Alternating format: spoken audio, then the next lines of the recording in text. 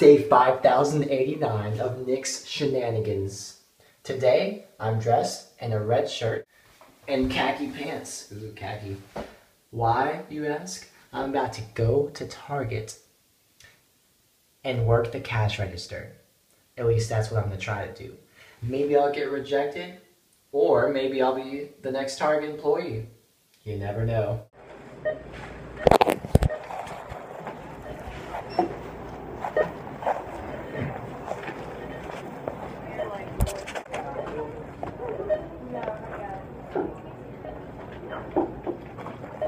Hey, I have a I have a quick question. Yes.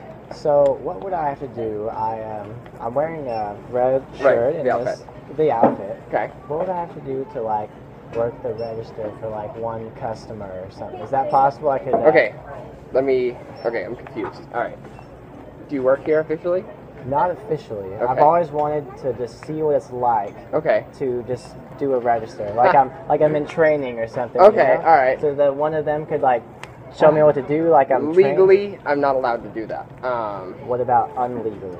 if you wanted to stand off to the side back here and watch them, Uh, I have to sign it- a paper. You'd have to sign like a paper. There'd be legal liabilities that would not allow me to allow you to Oh, do that in case something came up. You know, I just see. like legal processes. But I mean, you're welcome to chill and watch. What I if? mean, What if? just- so you're, you're the manager. right? Yeah, I'm one of So them. you're, you're the you're the right guy to talk to. Right, so you came to the right person I for wanting to know know the the general stuff up here. Um, I mean, it's. I've always wanted to just just like see what it was like just the Uh, what are you uh, doing right now, if you don't mind me asking?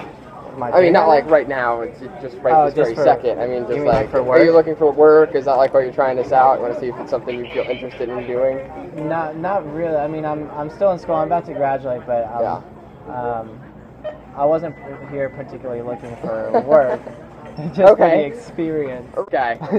but anyway, I'm officially writer. Ryder, I'm Yes, Nick. I have a name tag. So. Yeah, that's the only thing I'm missing. Right, I you are missing a name tag. I got the red and the khaki. I don't have a name tag. Well, I thought you were here for orientation because you looked like one of those general people. Oh, people really? who's really? looking for stuff. Huh? wear those ears? What ears? Oh, I didn't even notice. Bunny ears. Are you allowed to wear? Hey, how's it going? I'm Nick. Good. Anthony. Anthony.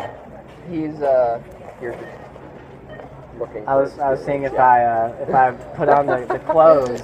If we would just think. If I Yeah, well, I could- kind of did. I thought he was here for orientation. I orientation. was gonna ask so- him. I was like, "Are you a new card?" Right, I wasn't sure what was going on. Who hired you? I I mean, he work here. came in in the right outfit, so.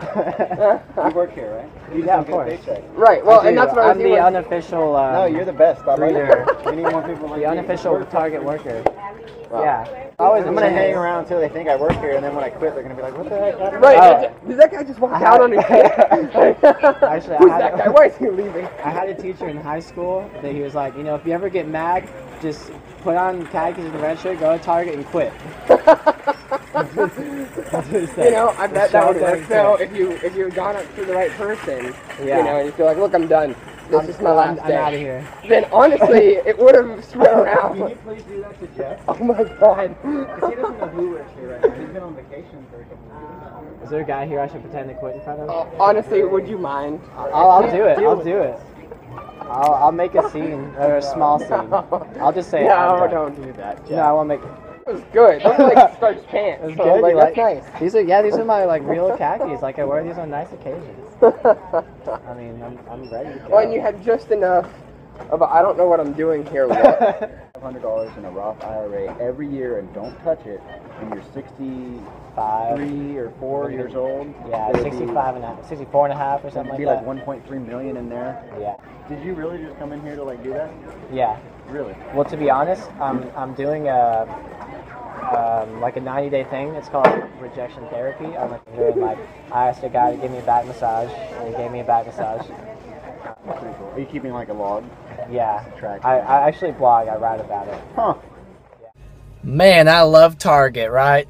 Obviously, they didn't let me do the register, sadly, but for obvious liability reasons. But I did end up having a conversation with two of the store managers for about 15 minutes with everything from pranks to Roth IRAs and everything in between. Those are some legit Target managers right there.